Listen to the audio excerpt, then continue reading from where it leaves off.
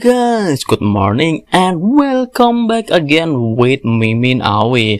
For this time, Mimin will provide a review for your favorite manhwa, Global Martial Arts Chapter 232. After a very fierce battle, Fang Ping was finally able to defeat Wang Qingyang.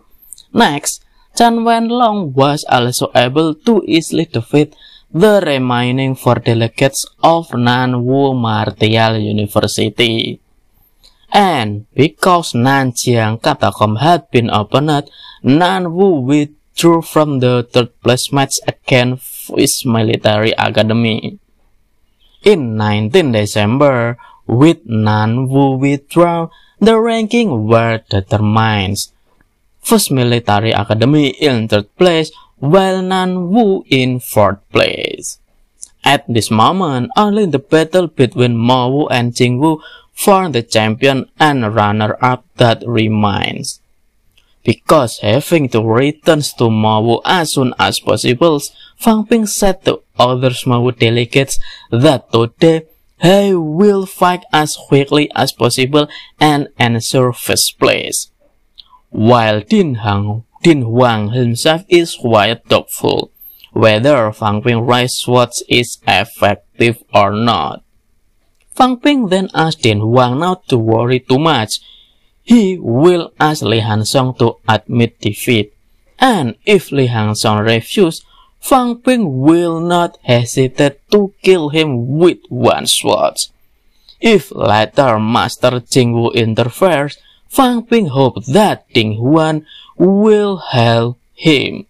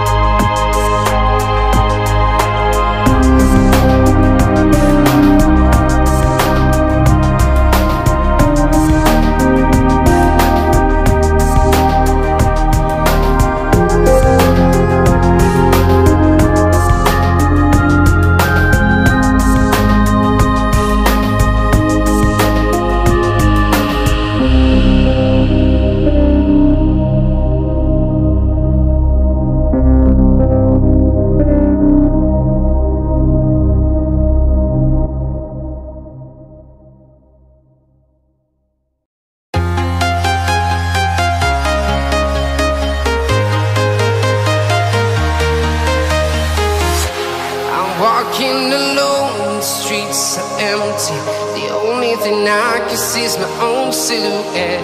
I'm getting stronger, step by step. The clock is ticking, but there's no time for regrets. I've been flying from town to town, from London to Taiwan. I've been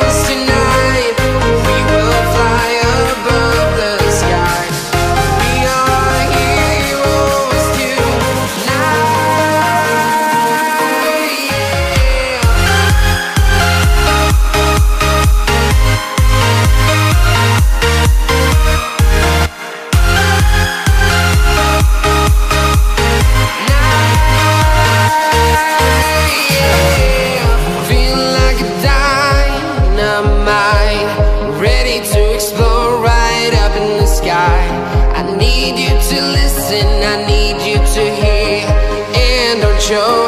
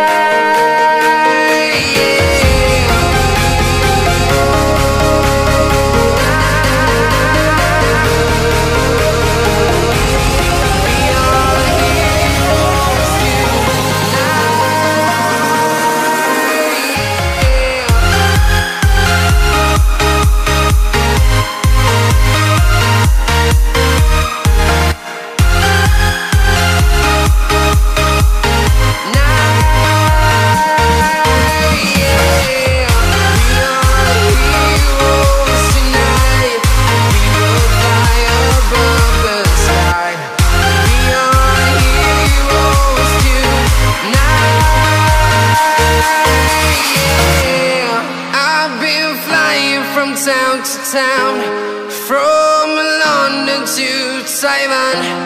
I've been all around the globe Trying to protect your soul